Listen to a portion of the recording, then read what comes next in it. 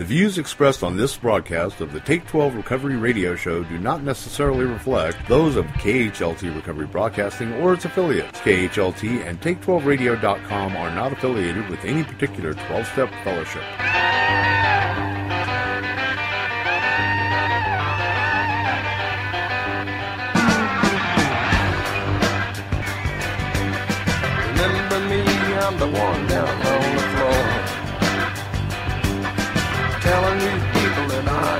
In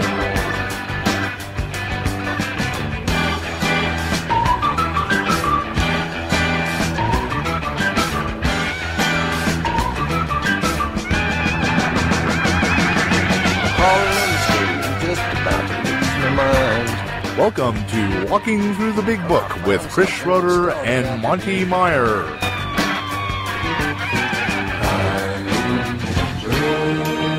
And now, here's those two guys who investigate prior to contempt Chris and the Monty Man. Mm, Yes, my friends, here's those two guys, those two wild and crazy individuals, and we are doing our best to walk through the big book. Chris Schroeder and I are here for you, doing the best that we can, hopefully bringing to you uh, some insight, maybe for the very first time, into the big book of Alcoholics Anonymous. Hey, Chris. Monty, how are you doing today? Uh, I am doing superior today. And that doesn't mean that I'm superior, but uh, the the day is just you know I, I was sitting in here I was telling uh, uh, Pastor Mitch the other day I was sitting here in here in the audio booth and just kind of being quiet maybe you know meditating a little bit and I looked over at at the uh, the the sound uh, the sound foam that we have on the walls and the ceiling and then I looked over at the doorknob. Okay, these are very simple things. And I looked over at the uh, the the two chairs we have for guests, and I was suddenly just flooded with gratitude. You know, and I, and I was thinking about the end of my trail, the end the end of my journey of using and drinking, and where God has brought me thus far. And I tell you, I felt uh, I was I was humbled, and I just felt so grateful. It was like somebody had just put a sheet of uh, of some kind of gratitude charge over me, and I got kind of teary eyed, and I just found myself really grateful. I, is, has that ever happened to you? Just sometimes out of the blue? Oh, sure. All the way through my uh, my recovery journey, Yeah. I'll be driving, and, and you know, all of a sudden, I'll just I'll have a sense of peace and comfort and and gratitude come over me. And I I, I call those God hugs, and and I think I think what's happening is I think uh, we get encouraged in uh, in spiritual and intuitive ways uh, to keep going the way we're going. And, Yeah. You know, it's it's encouragement. Uh, it's encouragement for me uh, to let me know that uh, the the things that the things that are going on in my life are infinitely better than Mm. uh, they could have they could be. Mm-hmm. You know, uh, considering uh, our sordid past. Yeah, I like the word God hugs better than God shots. That that's that that uh, God shots make me think of God sitting Yeah. up there with a with with a shot glass. but uh, yeah, God hugs. That's really great. Yeah, it's a good it's a good life to be living, isn't it? Absolutely. Yeah. Uh, every day there's uh, there's new things, new new wonderful things uh, coming across the horizon. So what's going on this week? Well, you know, we're we're about to go from uh, the preparation for the work into the work. Mm-hmm. We're about to embark upon uh, probably a three-week journey through the chapter working with others. And at this point in time, we've had a spiritual awakening. At this point in time, we're we can intuitively know how to handle situations or newcomers, you know, that used to baffle us. At, at this at this point in time, we're, we've um, we've we've I wouldn't say finished our preparation because that's a lifetime job, but we're now ready uh, to to go out and seek out uh, people that we can uh, that that we can help and we can bring them into uh, the fellowship we crave and we we can uh, we can help them escape the alcoholic uh, uh, al- alcoholic trap that you know so many of us in, were in for so long. Right. And you know, one of the things, uh, one of the things that I I kind of hinted at in, in some earlier shows is, if you don't mind, Monty, whenever there's a statement that, uh, of uh, what we're supposed to do, an instruction, Mm-hmm. a direction, would you mark? Would you would you number that uh, as we're going through the book? Because I've never done this, but I have a feeling that it, there's going to be a staggering amount of instruction in this chapter as far as what we're supposed to do, the, the directions we're supposed to take. Okay. And again, one of the things that I think is is so so lacking in any of the twelve step fellowships is adherence to and even understanding of uh, what this chapter is telling us to do. I think I think if uh, if everyone that got into a twelve step fellowship followed chapter seven and made it part of their their operational methodology, I think we could we could almost wipe out uh, um, a, a, addiction for the people who want help. And right now, there are so many people who really do want help, but they're so, you know, they're they're so confused and caught up in so many different things and ways and directions and and processes uh, that it's it's sometimes it's kind of difficult to find Yeah. the right uh, path out of uh, that uh, that addictive illness. Okay, we got we got our uh, our special blue pen here to mark where there is direction, and there we go. Okay, we're off. Okay, let's uh, let's get started then on uh, on chapter seven. Practical experience shows that nothing will so much ensure immunity from drinking as intensive work with other alcoholics. It works when other acti- activities fail. This is our 12th suggestion. Carry this message to other alcoholics. You can help when no one else can. You can secure their confidence when others fail. Remember, they are very ill. Now, this is a this is a great paragraph. I mean, imagine uh, imagine any other uh, uh, uh, any other illness that that is that is uh, going to going to end up uh, progressively fatal illness that's going to end up killing you. Imagine reading something at a doctor's office that says uh, our our experience shows that you will be immune from this particular uh, disease or illness if you do this. You know?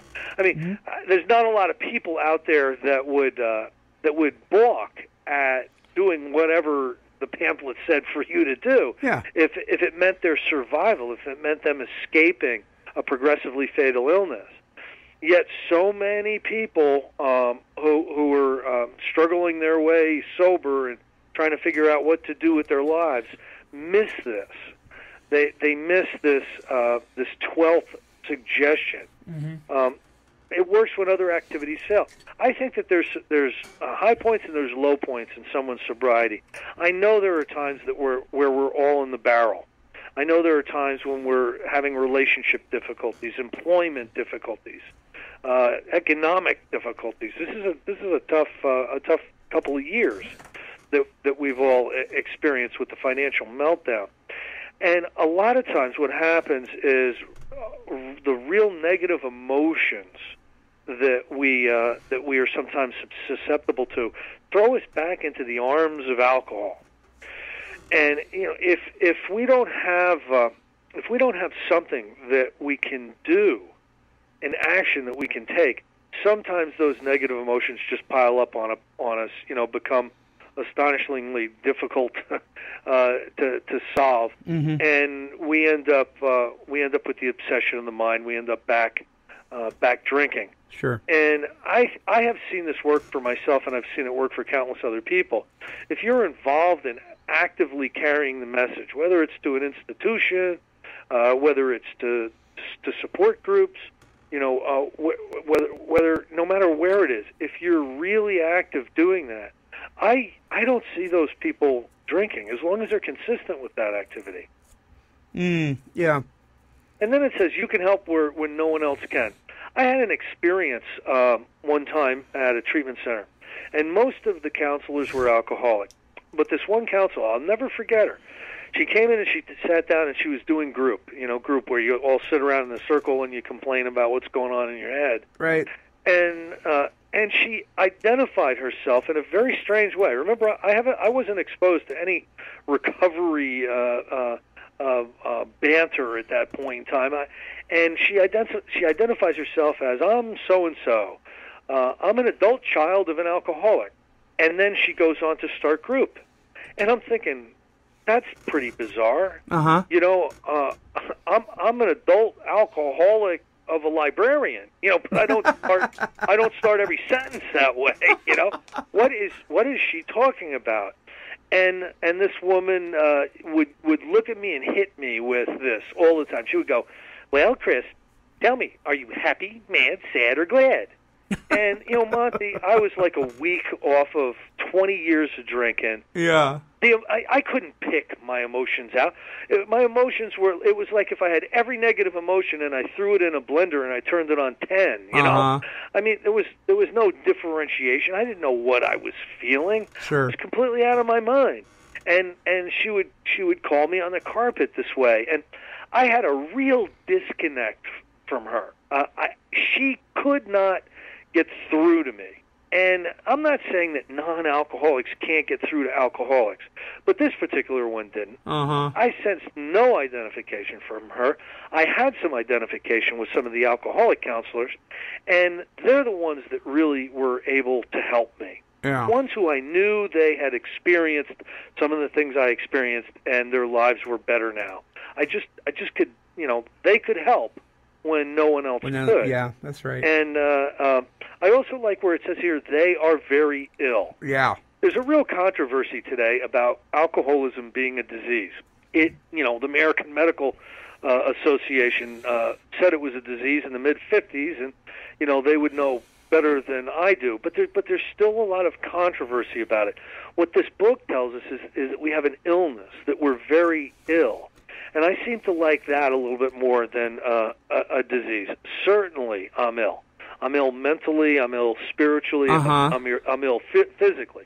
There's no doubt about that. So I, I like I like the way he uses uh, uses the word ill. In fact, I don't think disease is used, is it? Uh, not in the book. No. Yeah. Uh, it says that we've had we have diseased minds. Right. You know, uh, which is a lot. But um, but I don't th- I don't think they refer to alcoholism as a disease. That was that was later, uh, uh, and it's it's acceptable terminology. I think uh, I think today. Yeah. But again, it, it brings about uh, a sense of controversy with it that I, I kind of like to avoid. Here's here and promises are, are, are spread throughout this chapter, and if I remember, I'll, I'll, I'll try to uh, I'll try to point them out. But but here is some. Life will take on new meaning. To watch people recover, to see them help others, to watch loneliness vanish, to see a fellowship grow up about you, to have a host of friends. This is an experience you must not miss. We know you will not want to miss it. Frequent contact with newcomers and with each other is the bright spot of our lives. Now, that's kind of the difference between uh, recovered and sober, I think. Frequent contact with newcomers was not really the highlight of my life when I was sober. and you know, and it was certainly wasn't the, the the bright spot of my life hearing some knucklehead with with a week out of detox telling me, you know, what he thought. Uh, but I'll tell you, you know, today uh, today it, it really is uh, a high point in my life because I'm not coming there to get.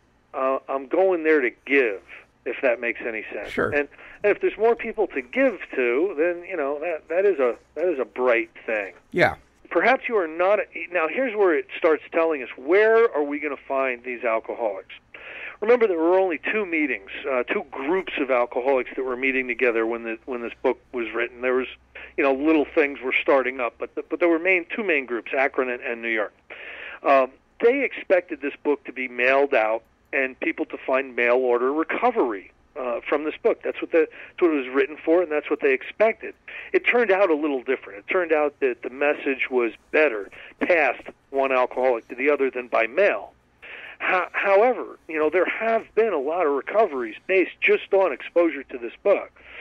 Um, uh, a lot of uh, a lot of groups, you know, have sprung up in different areas uh, because of uh, because they got access to this book and just did what it said, and then built the fellowship up uh, around them. But this is going to give us some instructions for uh, where we're going to find these alcoholics t- to carry this message to. And again, this message is I've taken the first 11 steps. I've had a spiritual awakening. I'm recovered from alcohol.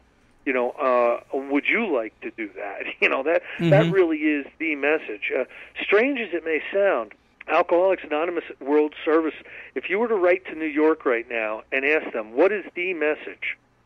The answer that they will give you is whatever you want it to be in your group. All right? That's a very, very unfortunate position uh, that they're taking because if you've been to some of the groups I've been to, Monty, Mm-hmm. you know that's that's a pretty scary perspective. Uh, in Yeah. some of the earlier literature on some of the earlier dust jackets, uh, and, et cetera, it basically said the message of Alcoholics Anonymous is in this textbook. It's the 12 steps, Mm-hmm. and I I tend to, to still believe that. But that's that's what you're supposed to do uh, when you're carrying uh, the the message. Uh, the message uh, is to carry the message of the spiritual awakening because that's that really is the treatment for alcoholism. Why do you think? Why do you think they would give that answer? Do you think uh, it's to tickle itching ears? Well, it's probably a combination of of a lot of the people in the main office not ever having a real experience with the 12 steps. Ah, Uh, you know, if you went through there and you you you know you questioned a bunch of them, you know, tell me about your amends. Uh, have you completed your amends? Uh, give me a little bit on your prayer and meditation. You're you're probably not going to get the answer that you would hope for. mm-hmm. Um, I think also uh, because of uh, of of uh, the politics of it all, I really think that they want the door to be as open as possible. They don't want to create any internal controversy. Um, you know, the group they really feel that the groups uh, they really report to the groups. So because of the the upside down triangle structure, so you know uh, maybe they just don't want to uh, take a stand on it. Um, I think I think it's worth taking a stand on. I think if we lose the 12 step as the message that we're supposed to carry, we're going to become more and more ineffective, and there's going to be more and more people drinking on us after we work with them. yeah, You know what I mean? I agree. Yeah, Perhaps you are not acquainted with any drinkers who want to recover. You can easily find some by asking a few doctors, ministers, priests, or hospitals. Remember, you're looking for the ones who want to recover. They will be only too glad to assist you. Don't start out as an evangelist or a reformer. Unfortunately, a lot of prejudice exists. You'll be handicapped if you arouse it. Ministers and doctors are competent, and you can learn much from them if you wish. But it happens that because of your own drinking experience, you can be uniquely useful to other alcoholics. So cooperate, never criticize. To be helpful is our only aim. Um, you know, Bill is uh, th- this chapter. I think reflects a lot of the stuff that was going on uh, in, in Akron at that time. Um, I think that um, the Akron's ties to uh, to religion and to Christianity was incredibly strong. I think the ties in New York were much much looser, right. and he was always trying to find a middle ground between New York and Akron. It, it's an it's an over uh, you know it's an oversimplification to say New York was filled with atheists and Akron was filled with evangelists. Uh huh. but there is some truth to, to that, yeah, There is some truth to that. it still is, isn't there? There, there really is. And, Yeah. And and Akron was a whole heck of a lot more effective at keeping people sober than New York, New York was, and and still is. I'll tell you, if I was going to land in one of those two cities and have to go uh, to meetings to to stay sober, uh, I would rather land in Akron than than New York any time. Let me tell you. but uh, but I think he was I think he was trying to curb people's zeal a little bit about the uh, the religious uh, or or God uh, uh, God angle, uh, Christian angle. Uh, let's see here. When you discover a prospect for Alcoholics Anonymous, find out all you can about him. Now, this is kind of uh, important. Um, let's say you get a phone call. Hey, you know, my, you know, our our father is drinking himself to death, or my brother's in real trouble, or whatever. Uh, it's a good idea to ask a lot of questions. This is when you approach someone, you want them to be able to identify at the highest level possible. The more identification, the more trust usually there will be. Yeah, The the, the more that they will, uh, the more that they'll uh, start to become convinced that you can help. So if you know about uh, you know what type of drinking they have, if you know about some of the experiences they've had, you can share similar experiences and and uh, be able to identify it at a deeper level. If he does not want to stop drinking, don't waste time trying to persuade him. You may spoil a later opportunity. I love I love the suggestion too. I, I don't know about you, Monty, but when when I first got sober, I really was trying to get a lot of people sober who had no real interest in getting sober. you know, I became kind of an evangelist, uh, run it running around. Oh, Sure. you, you know, it's really great. You should try it. And, and again, what you can be doing uh, is you can be spoiling a later opportunity. Yeah. You know, when when alcohol really does get their attention, they'll remember some knucklehead, you know, trying to talk them into something that they didn't want to do or didn't understand or didn't believe in.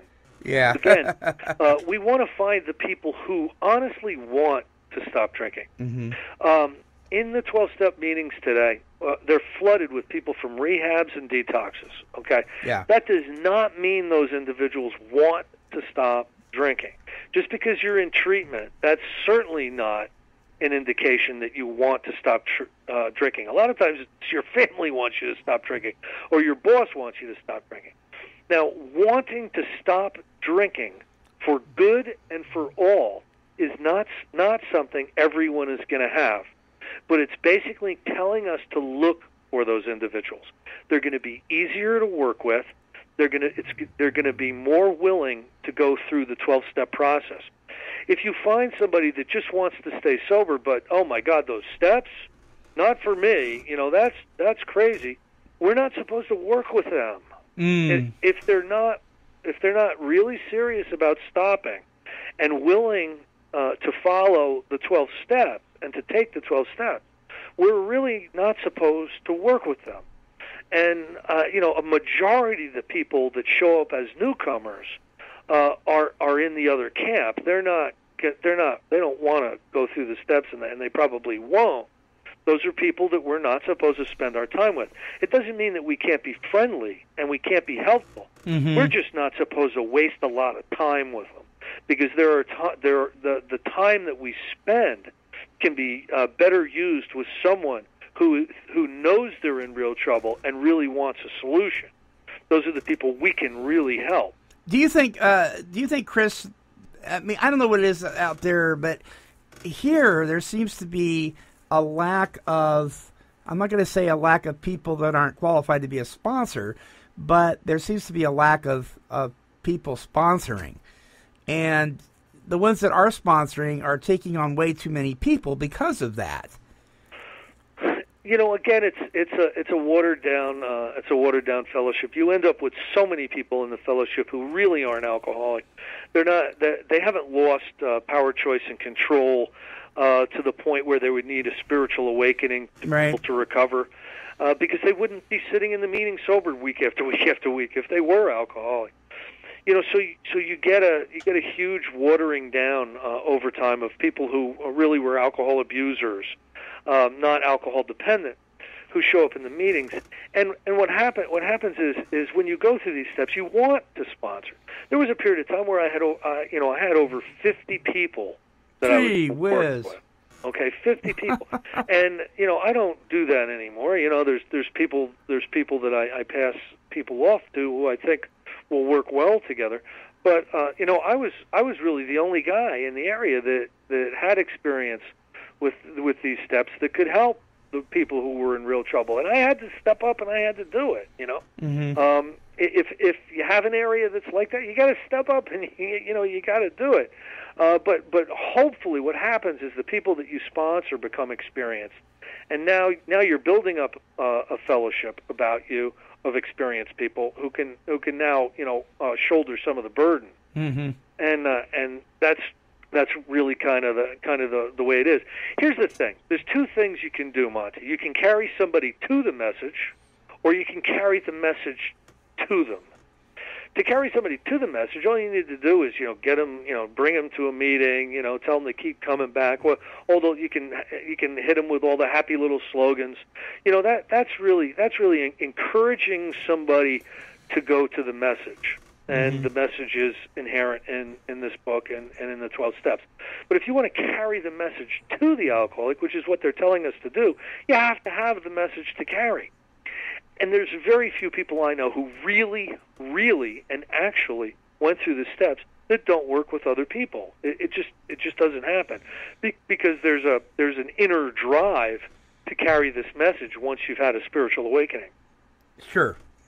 You know, if somebody just never ever sponsors, never wants to, uh, I, I question that they've had a spiritual awakening uh, as as the result of the twelve steps, because that's just not not how you end up at the end of the step. You you would automatically you would automatically have a desire. I mean, I think it's just natural, built into to us when uh, there's a, a malady and then uh, there's recovery from that to want to share that with other people that are hurting. Absolutely. I mean, you're, you've just been placed on a completely new footing on life.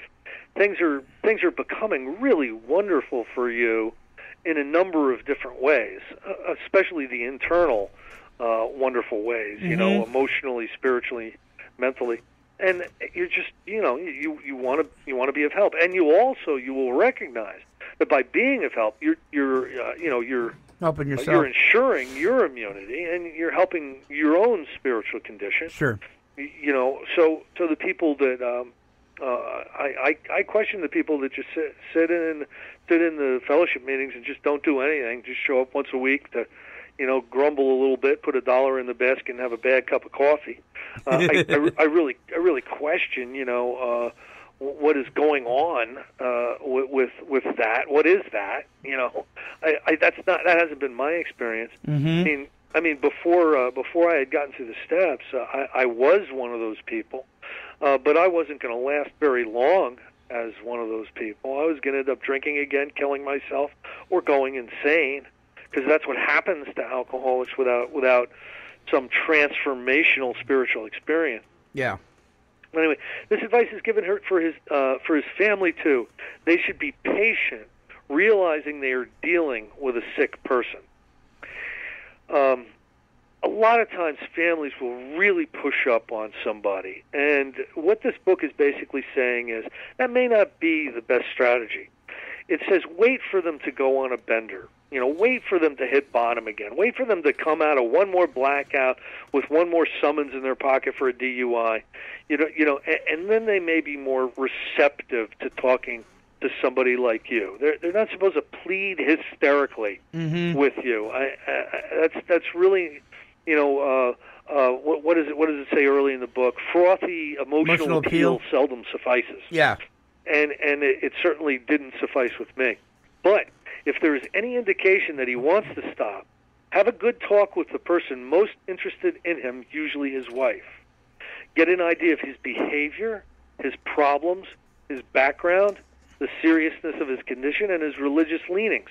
Remember, you're numbering you're numbering these, Monty. Uh, you need this information to put yourself in his place to see how you would like him to approach you if the tables were turned. Mm-hmm. This is doing your due diligence before a sales call. Let's say you're a big corporate salesman and you're about to go sell to XYZ Corporation. You want to know as much as you can about X, Y, and Z Corporation to be able to handle the sales call. Well, it's the same thing with us. We are we're discovering a prospect we're going to them we're trying to identify and to do that we need to know as much as we can about them and then then we set then we then we put the bait on the hook and the bait on the hook basically is you know i'm recovered. My you know my wife is my life is wonderful now. There are so many great things that are going on. And then they're going to they're to be curious and maybe interested. So it's it is kind of a an approach the same type of approach as you do would do with a sales call. Sometimes it is wise to wait until he goes on a binge. The family may object to this, but unless he is in a dangerous physical condition, it is better to risk it. All right, when somebody has gone on a bench and comes comes out of that bench pitifully and incomprehensibly demoralized, it's a wonderful time to say, "Well, you know, are you done yet? Are you done yet? You want help now?" You know, it's just a good time. That they're they're softened up a little bit by alcohol. Alcohol is the great persuader, by the way. You know, we don't need to persuade anybody, really. alcohol alcohol is the great persuader.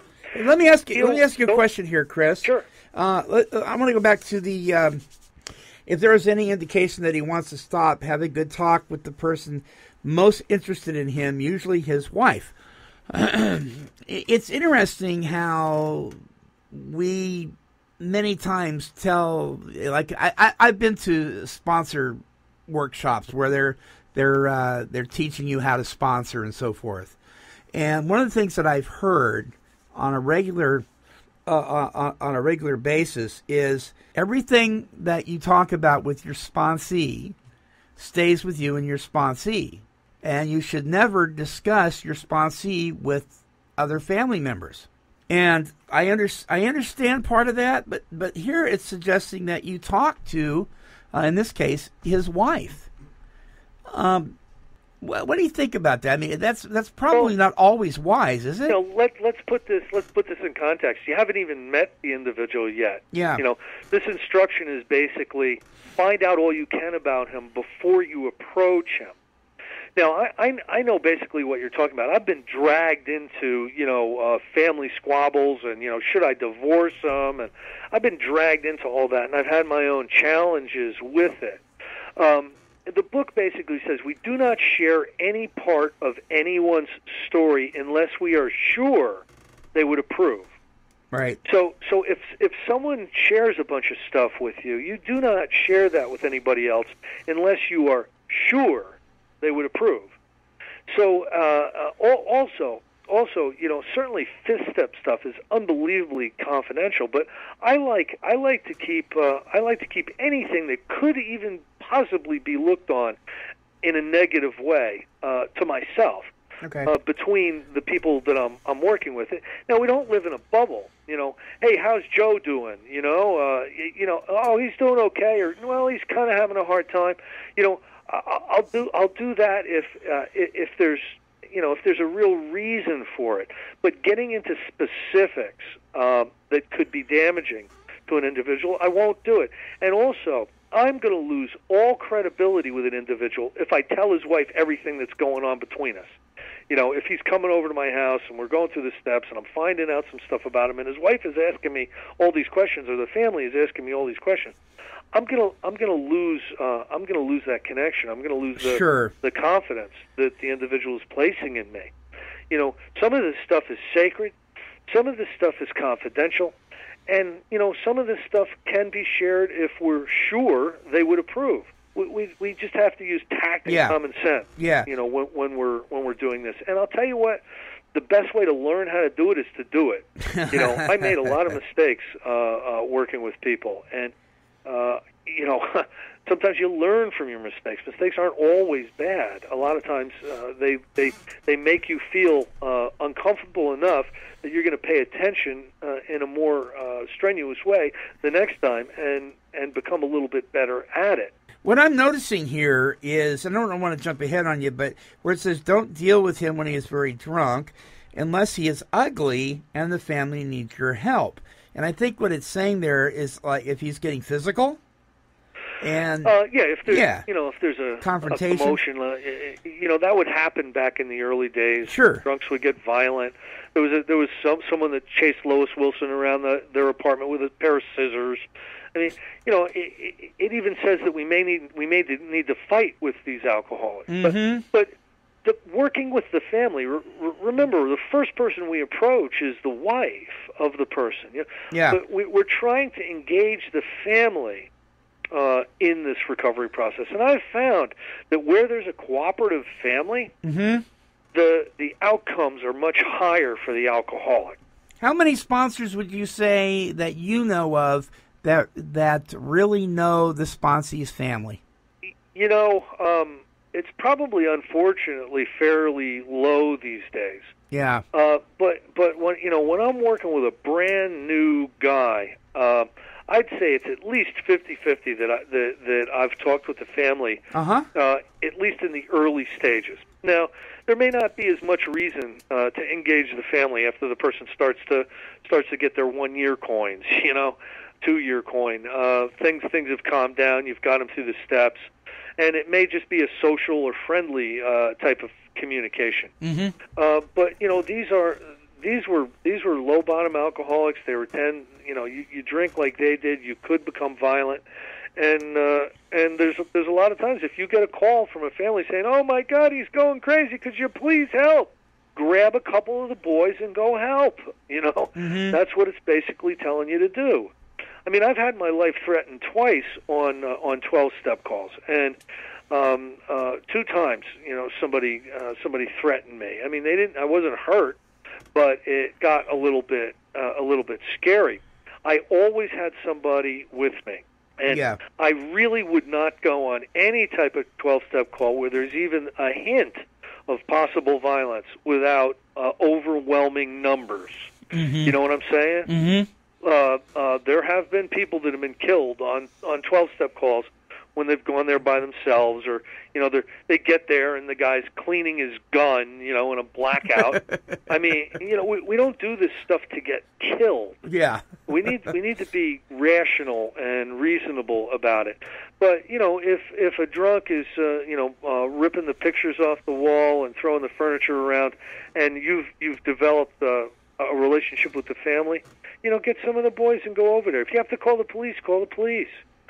You know, uh, do do whatever you need to do to ensure the family's safety, and then and and then you know then then visit uh, visit the drunk when they get released from uh, custody. Good. Yeah. Don't deal with him when he's very drunk or ugly unless his family needs your help. Wait for the end of the spree, or at least for a lucid interval. then let his family or friend ask if he wants to quit for good and if he would go to any extreme to do so. Now, this is not what happens a lot of times in uh, in the recovery meetings today. We quit. We quit drinking one day at a time. If if somebody told me I was gonna have to quit for good when I first walked in, I'd have walked right out the door. You know, I mean, you, you, you hear all this, all this, all this uh, hobble gobble.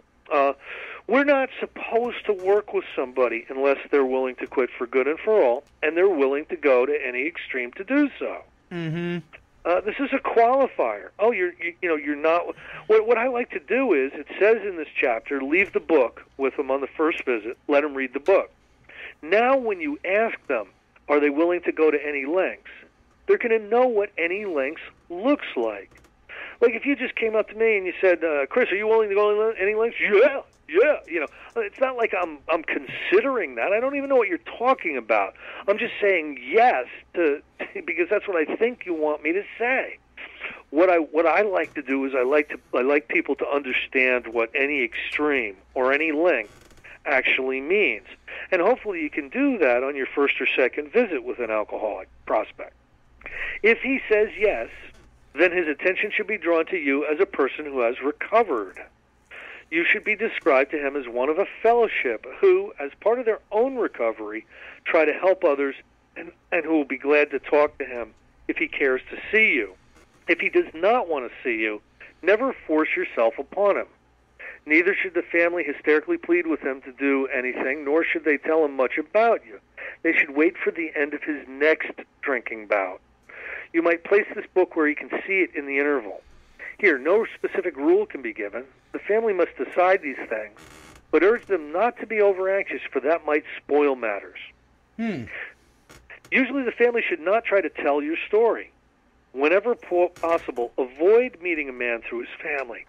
Approach through a doctor or an institution is a better bet.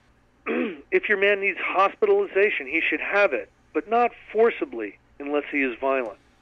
Let the doctor, if he will, tell him he has something in the way of a solution.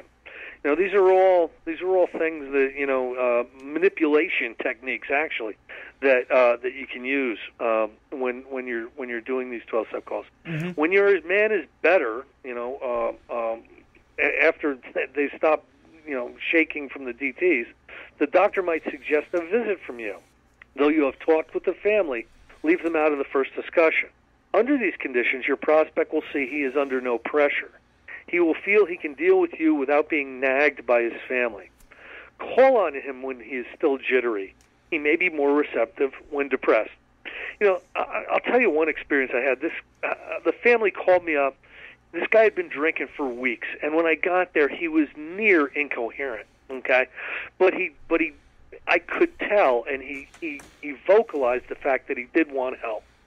He would not go to a hospital. He would not uh, go to a detox, um, uh, and, and so we we brought him over to our house, and we stuck him on the couch, and he shook it off. Now, I'm not I'm not recommending that you should there's some good detoxes out there and and good hospitals and good rehabs and you probably should be on uh, Librium or, or or Ativan or something like that for a serious detox. Mhm. absolutely.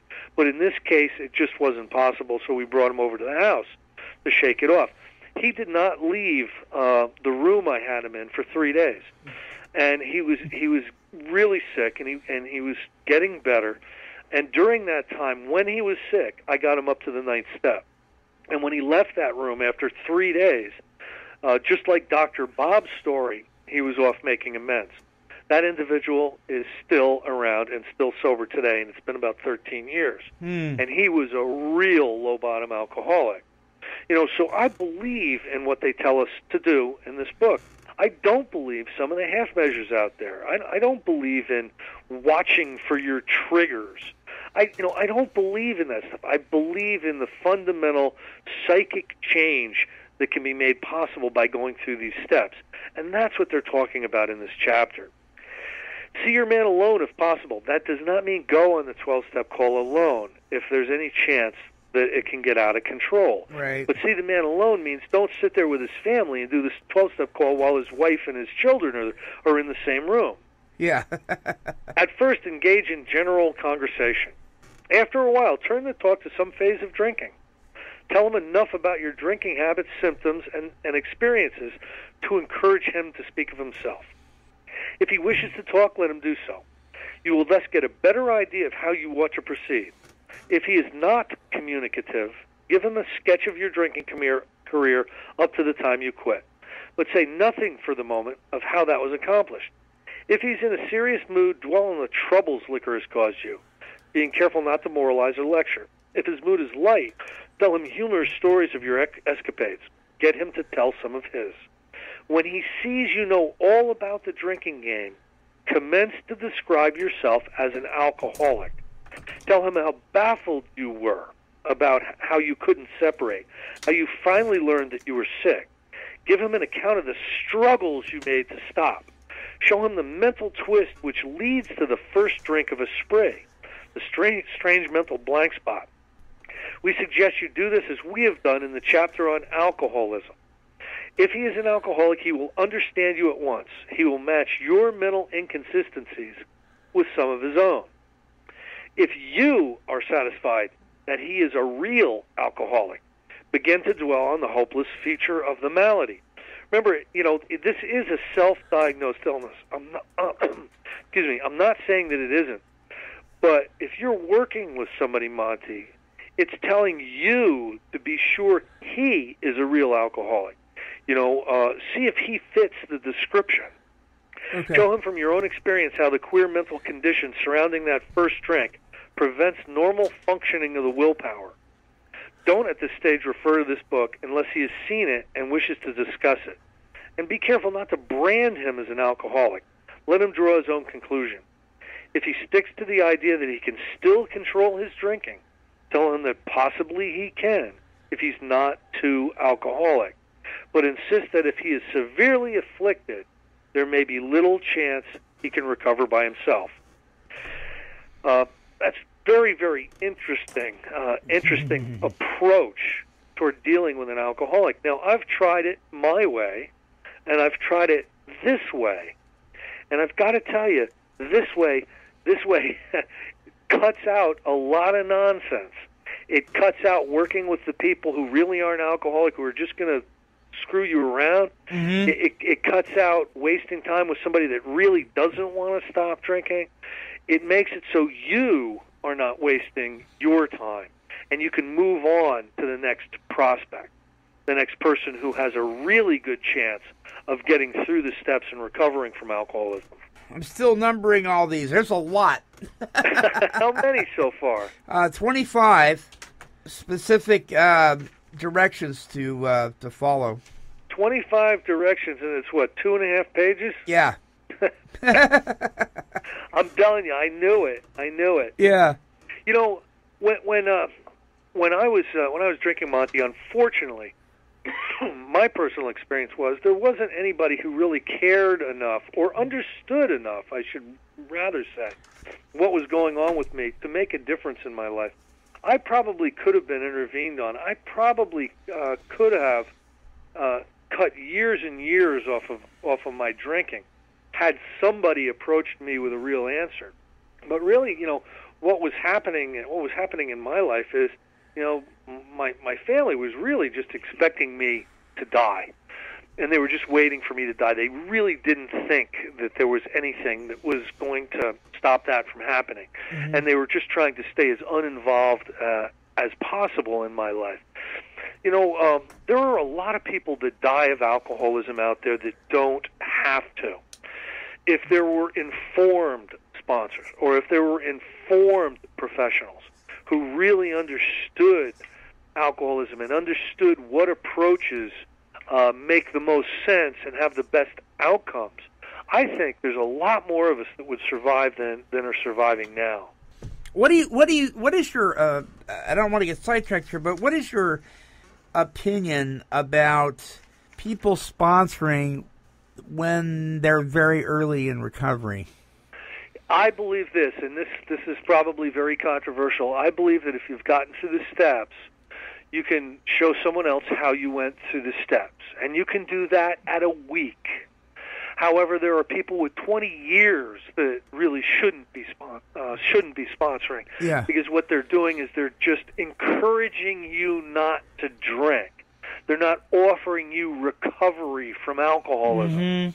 They're merely encouraging you not to drink. Just keep going, keep going to meetings, boy. You know, I mean, that's that's simple encouragement, and that doesn't really work Right. uh, all the time for a real alcoholic. But they need. They definitely need to have gone through these steps.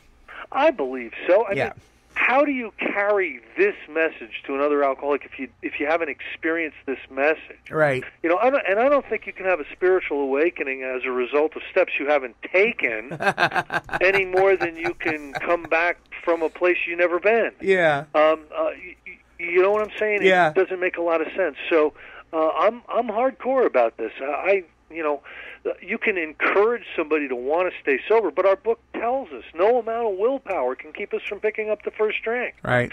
So if all we're doing is encouraging somebody not to drink, and yet no amount of willpower will keep them from from drinking, what what are you really doing? Yeah. So uh, I believe in offering somebody uh, the recovery solution, the, the the steps we have taken, Mm-hmm. you know, and help them to take those steps. Not everybody's going to get through the step. A lot of people get somewhere into the steps and say, you know, this is a this is an overreaction to a problem. I really think I have under control. And nine times out of ten, they'll drink again, and you know, sometimes they'll come back and say, okay, okay, this has happened to me many times. Okay, okay, I'll do it all. You know, I'm ready. I'm ready. you know, alcohol is the great persuader. Yeah. Where are we at here? So, um, you know, when I think about um, this chapter, I think about the experience these alcoholics had. Here's what here's what they would do, Monty. Monday night, you know, they would get together at somebody's house and talk about, okay, where are we going to go find prospects this week? And sometimes they'd break up in teams. Sometimes they'd go on their own. And Tuesday they'd go out to the hospitals. They'd go out to the sanitariums. They'd go down to the Bowery. They'd go to the missions. Wednesday, same thing, looking for prospects. Thursday, same thing, looking for prospects. Friday, same thing. Finally, some of them have started to find prospects. What they would do is they would put them in the hospital, either Towns or St. Mary's or whatever in Akron, Yeah. and and uh, they'd get the person, uh, you know, are you willing? Yes, I'm willing. Okay, you're gonna you're gonna stay a couple of days in the hospital. And then once they were in the hospital, they'd get all the boys together and they'd start sending them in one at a time to tell their story and to do their 12 step bit, you know, to identify and talk about their recovery. And by the time those people got out of the hospital, they were ready to start working the steps, the steps that they hadn't worked in the hospital. Mm-hmm. Now, that was how the week was laid out for these people prior to the writing of the book. For one reason or another, we all think we should do 90s and 90s. We should all go to a meeting every night. That's not what this book tells us to do. This book tells us to get out there and find prospects. Mm. Find prospects for Alcoholics Anonymous. Uh, to uh, start to build up the fellowship you crave. There are alcoholics dying by the wayside, it says, who need our help so you know, I think hiding out in in meetings doing 90s and 90s, I, I don't know where that came from. That you know, that certainly didn't come from the text Alcoholics Anonymous. I have a feeling that you know, uh, misguided treatment uh, protocols came up with that one. Yeah. You know, uh, because they didn't even have 90 meetings uh, back, back then. yeah. You know, so so there's a lot of things that have that have uh, that have taken place in the fellowships today that are easier, softer ways that are more politically, uh, you know, warm and fuzzy. Uh, but they pull us away from our primary purpose, which is to carry, stay sober, and carry the message. Mm-hmm. So, I, you know, one of the one of the things that you know I'm grateful for is that we're going over this chapter and we're going over it in detail, and every one of us falls short as far you're gonna you're gonna come up with 150 or so directions when we're done with this chapter, maybe more, Monty. Mm-hmm. And every single one of us falls short every single day following those directions. But I'll tell you, if we can just all get a little bit better at doing what it says in this chapter, fewer people are going to die. Yeah. Yeah. Amen. You know what I mean? Yeah. Yeah. Yeah, because uh, there are too many. There, there are way too many people dying in the rooms of Alcoholics Anonymous, Narcotics Anonymous, etc., um, because they're being being taught what a non-alcoholic, I mean, just what a non-alcoholic would need, and no further than that. Yeah, the Yeah. heavy drinker suggestions. Uh, you know, Yeah. live, living sober instead of recovering from alcoholism. There you go. You know, those are two completely, completely different things. I'm all for all those wisdom sayings and all for those. You know, it's real sober guidance and, and it works real well. But again, that in itself is insufficient uh, uh, for a defense against alcohol. If you're really alcoholic, it may it may help people who haven't gone down the scale uh, too far to really to talk about their feelings Mhm. uh, every night at the closed-minded discussion meeting. That really may be a good thing for them, you know. But what's going to happen is is uh, is the low bottom alcoholics going to show up in that meeting, and they ain't going to make it. They're going to look around and say these people are crazy. Uh, this, I, what is going on here? There's going to be no identification, you know, and and they're going to stop going to the meetings because they're going to know there's no answer there. Right. And you know, sometimes they're they're right. You know, if they didn't read how it works, you wouldn't even know it was a it was a recovery meeting. So. Um, so again, we, we really, we, you know, primary purpose, primary purpose, primary purpose. Stay sober, absolutely, uh, but to carry this message Yeah. to other alcoholics, the message of the steps. You know, the whole Renaissance, the whole uh, uh, uh, the whole twelve step or, or big book Renaissance that's going on right now is about that. It's about getting back to these basics, about back to the things that work. Because there's a lot of new things now that don't work, and. Uh, uh, you look at the you look at the rates of uh, of of recovery in some of the some of the meetings today. You're going to see that it's a revolving door. There may be a core group of people who are there year after year after year, but the rest of it is revolving door. Mhm. And you know this is this this renaissance, uh, uh, getting back to the text of Alcoholics Anonymous, is really based on we need to change that. We need Mhm. to change that, or, or you know, uh, or we're irresponsible. We're letting we're letting people die. We're we're con, you know, it's contributory manslaughter. Is Yeah. basically what it is. If if we're not stepping up to the plate. Hey, uh, uh, when when I see uh, when I see people uh, getting ready to put a new meeting together, I'm going to suggest they call it the closed-minded discussion meeting. I like that. Some of them are. yeah, You know what I mean. you bet. Um, let's see, we're almost out of time. Where would you like to leave us off with this week?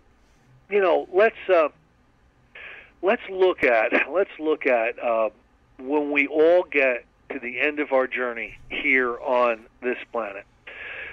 Will we have left it a better place you know, then have will we have given more than we have taken? Hmm. Now, the alcoholic being, you know, building their whole method of operation from a selfish, self-centered, self-seeking platform is more than likely to get to the end of the lifespan, and he's taken more than he has given. Yeah. I think we're offered an opportunity here, Monty, a wonderful opportunity to set right the scales. I mean, didn't you didn't you feel guilty and remorseful over you know your your 20 years or so of uh, of partying like partying like a maniac and letting everybody down? I mean, you know, we we we did. We felt we felt guilt and we felt Yeah. remorse. Now we're being oper- we're, we're being offered a chance, offered a blueprint, basically, uh, to get busy, setting the scale right. You know, I've had I've had the unbelievable joy of helping a whole lot of people in my life. And if if I would have died in 1989, there would have been three people at my funeral, and you know uh, they wouldn't have been able to move the casket, uh, you know, out of the hearse because there was only three people. You know, uh, that would have been uh, the extent of my my funeral. Um, uh, uh, I don't think it would look that way today. No. And Chris, Chris, I think that there's been enough work done on my part that there's enough people that are convinced that uh, I'm, I'm a worthy contributor to the, to the human uh, uh, human condition here on Earth, and I've done some things to set right the scales, and a lot of that has to do with working with others. yeah. So it's an experience nobody should miss. So nobody should miss. And, and I gotta, I gotta say, just as you know, we have this. I think we have this thing, and I understand. I understand the heart behind this, but I think it gets twisted. This whole idea that somehow we should be, um, you know, setting ourselves in, in, in our place, making sure that the more we learn, the less we know. We need to stay humble, and we can't take any credit for what we've done, and all this stuff. And I understand the heart behind that, but you know what? The things that we did that that by doing those we felt guilty and remorseful and, and the whole nine yards. Well, when we're doing things that are right, is there is there anything wrong with feeling good and saying, you know what, I did that right? Ab- absolutely not. You know, my favorite my favorite uh, definition of humility is an accurate self appraisal. Hmm. So if you're doing really well and that's an accurate appraisal, fine. Now we don't want to we don't want to become pompous and you know braggarts or Right. you know power driven maniacs. You know, that's that's certainly a, a, a negative negative uh, negative character trait. But you know, I'm not going to sit there, you know, being Mr. Mr. Humble, Mr. Uh, you know, uh, uh, uh, Mr. Doormat for anybody. You know, that's that's not why we uh, why we get sober. We're not we're not defective uh, uh, spiritual people. We're ill people Yeah.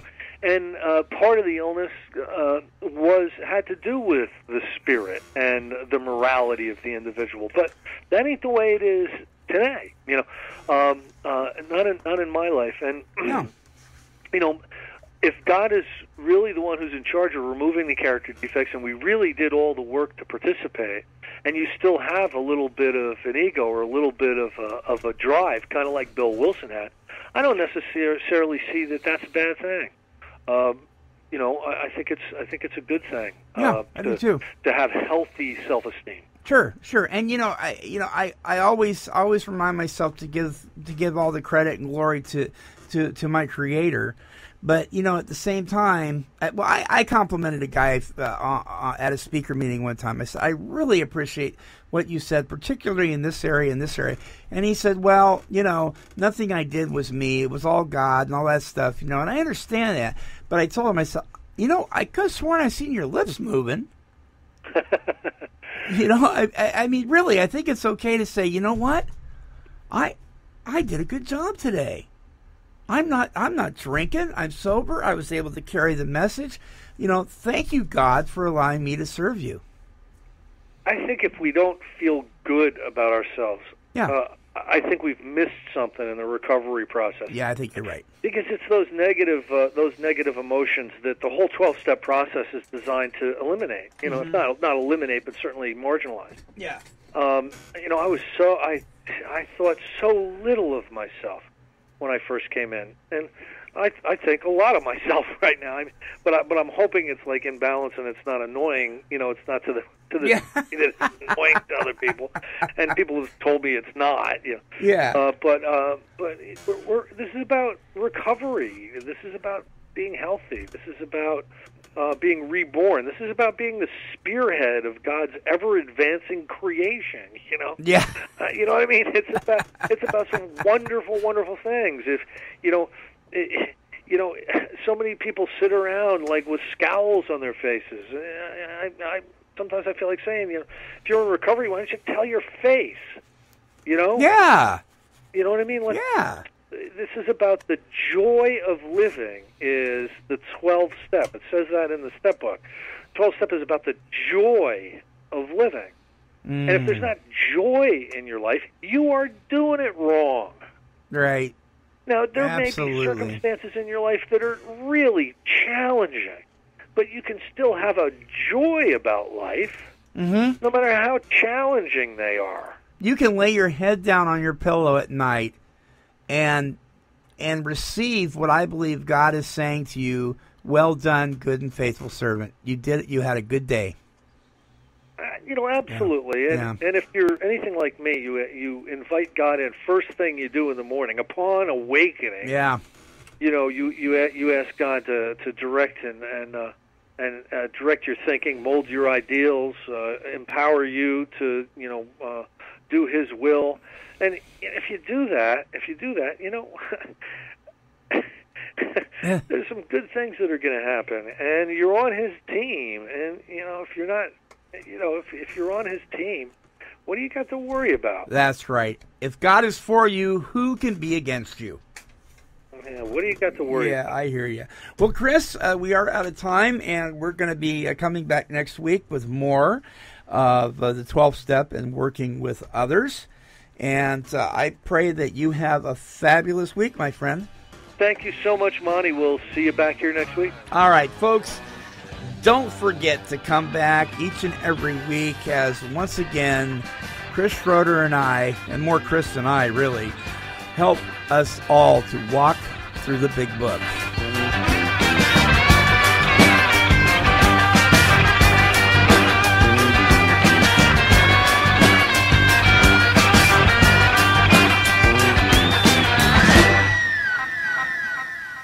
This has been a broadcast of KHLT Recovery Broadcasting.